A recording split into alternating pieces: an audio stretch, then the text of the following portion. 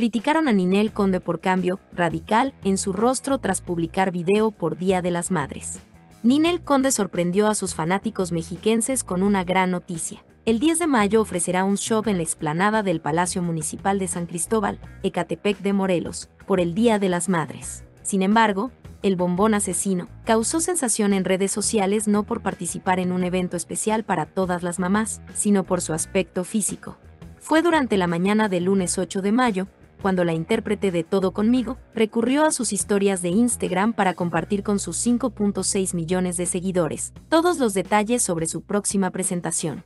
A todas mis mamacitas hermosas de Ecatepec, nos vemos en la Plaza Municipal este 10 de mayo con mi show, para festejarlas a todas ustedes, a todas las mamás emprendedoras, a todas las mamás lindas y bellas de Ecatepec, mis paisanas, allá nos vemos con un show. Según señalaron varios internautas, Ninel Conde se habría sometido a un tratamiento estético, que habría modificado sus rasgos faciales hasta cambiar su apariencia. Incluso, algunos compararon al bombón asesino con Lucía Méndez, Lin May, Fernando Olvera, vocalista de Maná, y al estilista Alfredo Palacios.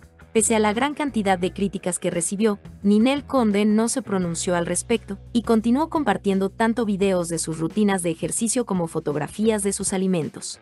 ¿Y tú qué opinas? Deja tus comentarios y síguenos en Noticias Tendencia.